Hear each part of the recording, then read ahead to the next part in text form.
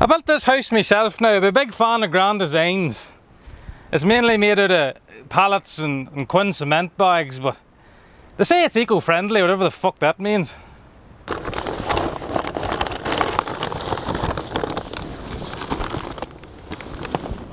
A bay window and everything in her. I've got a wee outdoor pool here and everything. Well, the tell, the tell me it's the septic tank, but sure, rich people don't shite that much, like. Oh no, where's my good house coat? This is, uh, this is Una.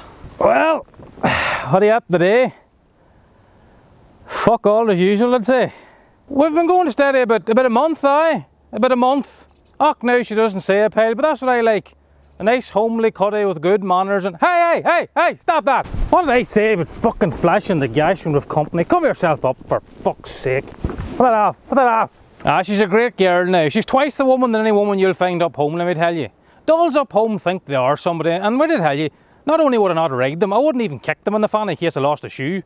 Och, now we have our ups and downs again the other couple. And near shit one morning I thought I got her up the skate. Turned out I just put a wee bit too much air in her. But we've a great time together now. We laugh. Hey, you know, what did the rooster say when he walked in and his wife getting rid by the neighbour? Cock, hold on here a wee minute. Because cock hold is that porn, you know, with a, with a wife gets rid by the, and the husband watching and rooster cock-a-doodle doo. Ah, fuck yeah, that's funny. I'm away to bed. We sing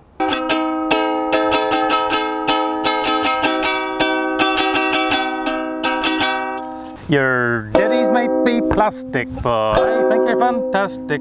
Come on over here and suck me off. And we make sweet, squeaky plastic love. Right, in you go.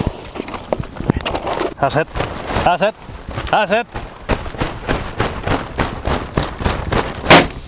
Ah, for fuck's sake, Una.